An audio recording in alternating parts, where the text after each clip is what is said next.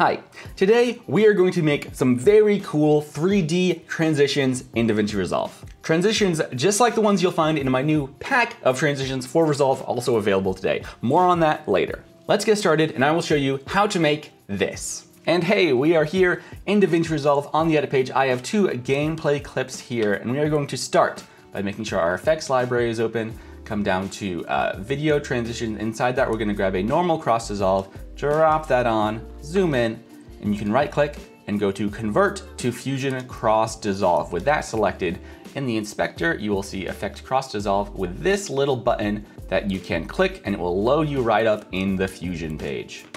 Now, we are making one specific transition in this video, but the process is applicable to every transition. Anything you do in the Fusion page can be packaged up and saved as a transition. As long as it starts on one clip, ends on the other using these two media in nodes, you can save that as a drag and drop transition that you can use or send off or sell or anything. It's very cool. But back to the task at hand, you will see we have our uh, media one, which is our first clip, media two, which is our second clip, and those are both going into this cross dissolve node. By default, this is like a little macro, but inside is just a normal dissolve node.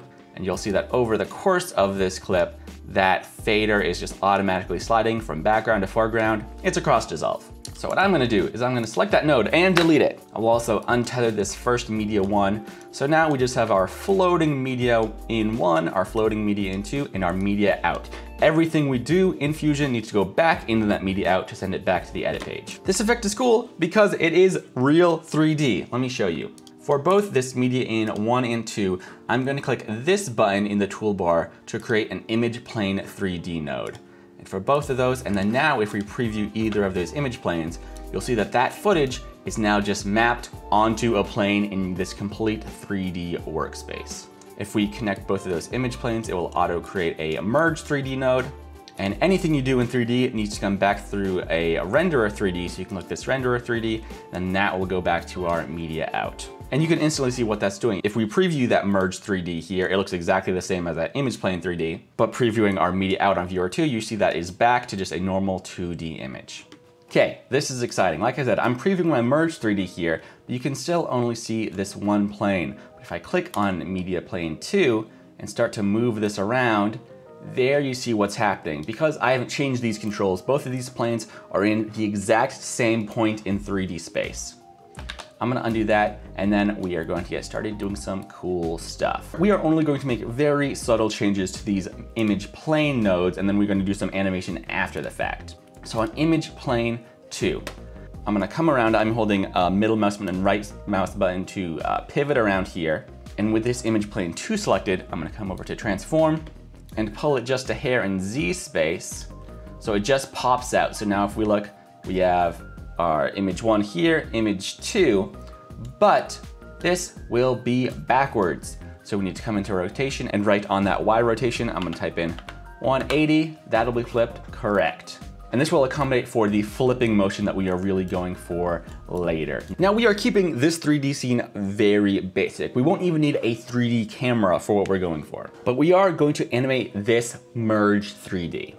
Because you see, when I come into this merge 3D on the transforms, if I move this back and forth, and even if I rotate on the Y, this has our entire scene, and just depending on how we position and rotate this merge 3D, that will change how it is presented uh, to the renderer, to the final product, to the media out, to send it back to the edit page.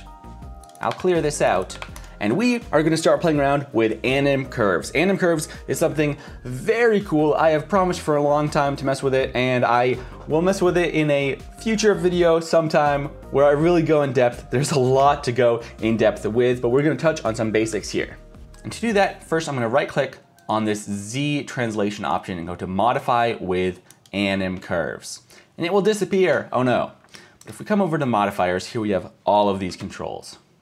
And if we zoom out on this merge 3D, you'll see what is really happening. It is starting on this position here and just sliding forward in 3D space until the end. That's weird. We want something different. We want this to start full screen, slide back, hold, and then wait until the end of the video we will slide back to fill the screen again. So the first step of that is to take this animation here and have it go from starting full screen to at the very end being where we want to sit sort of in the middle of our composition, even though we're starting at the end, you'll see why. So if we start here, I'll bring the scale down to about one, and then, hey, I will change that to negative one. By default, it was moving towards the camera, now it will move away from the camera. You'll see it starts here, it slides back just a bit there.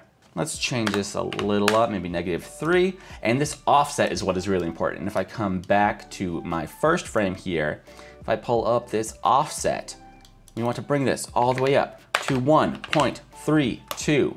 Click that, that I just, I just know that's the right number. And hey, it will start full screen and as soon as our composition starts playing, it will slide and go all the way back. Looks like negative three was actually a little much. Try negative two, hey, maybe we just wanted one after all. One looks great. Full screen, all the way back to here. But this isn't what we want. We want to click this button here, mirror. And now this will slide back and then instantly ping pong and come back up. We want it to hold a little bit at the end. To do that, we will use easing. On this curve, I'm gonna come down to custom easing.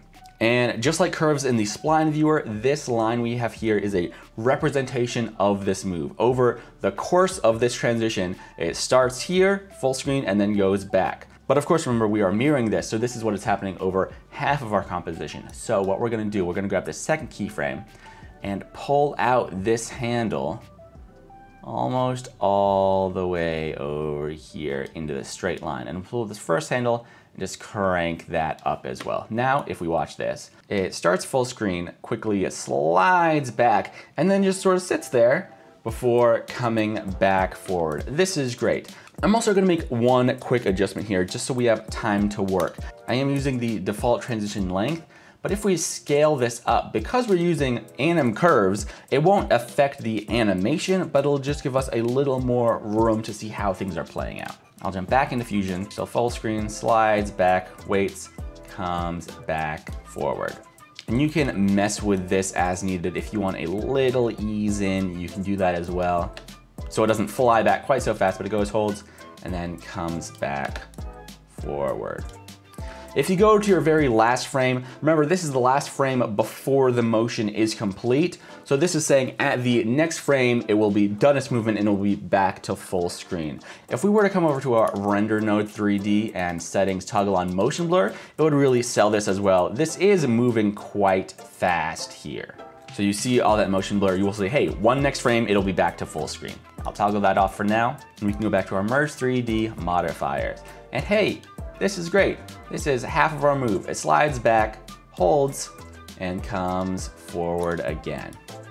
Cool, now move number two. I'm going back to my Merge 3D Transform, and we're looking at this Y rotation. Right click, modify with anim curves, and if we even preview this here, remember it starts video one, it'll slide back and as it's sliding back, it's rotating, gets to that second video, and then it starts to come forward, and this is just one move. But remember, right now this is a linear pace. As soon as it starts, it is starting to rotate. We want something a little snappier.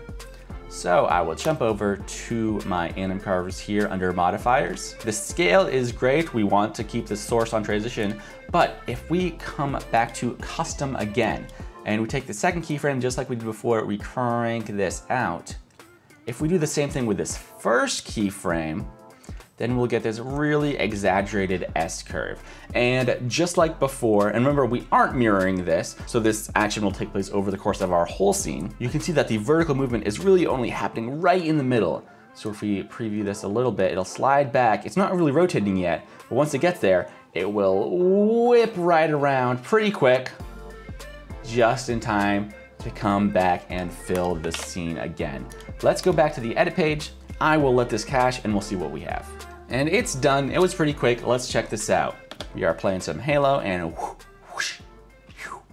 I don't have any sound effects. That was my mouth. You could add plenty of sound effects here and it would look really cool. And hey, we just made a custom 3D transition. The last thing I'm gonna show you is how to save this as a preset that you can use in your own projects here on the edit page or share anywhere else. We're dipping back into Fusion and this is gonna be a pretty simple.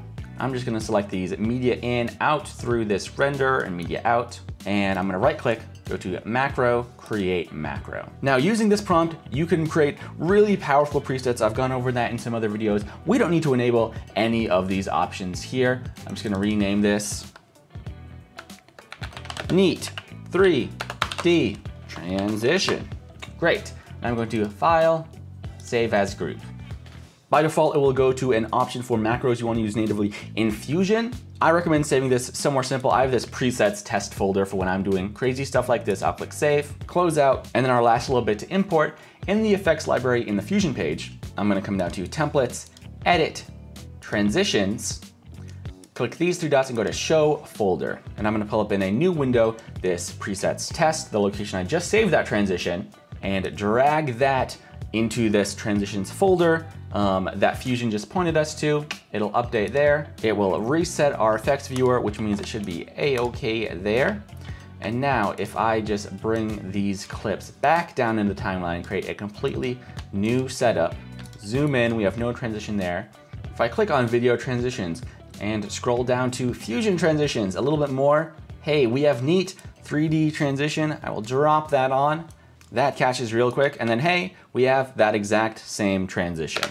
And if you were following along, you have a brand new transition on the edit page using this cool 3D effect. I could always go back, toggle on that motion blur. That would look pretty cool. And like I said, you can do anything to this scene to save it as a transition, just like I did in my brand new pack of transitions available today. Using this framework, I have 32 drag and drop transitions for all of you. Really, it is uh, 16 transitions and all of them have a variant. That first zoom back that we animated, uh, 16 of mine have that zoom back and then it performs the 3D motion. And then the rest of them are just that 3D motion, but staying at full screen. I got a request for that from my community members. It looked like a great idea. Now you have both options. You can save whichever ones you like as favorites and use them on any project or open them up in Fusion Fusion and see exactly what I did, what I changed from this demo to create this new pack of transitions for you all. That pack of transitions is available now. A link will be in the description. And just like for my first pack of text animations, uh, I am also giving away this transition pack to all community members at that $5 shipping in tier or above. If you want more info on that, you can click the little join button under this video uh, for more info. But if you're just interested in the transition pack, uh, that link is in the description. And hey, if you just like the tutorial, that's cool too. We do lots of cool stuff in Resolve and Fusion on this channel. Click around, you might find something you like. Thanks for watching. I'll see you next time.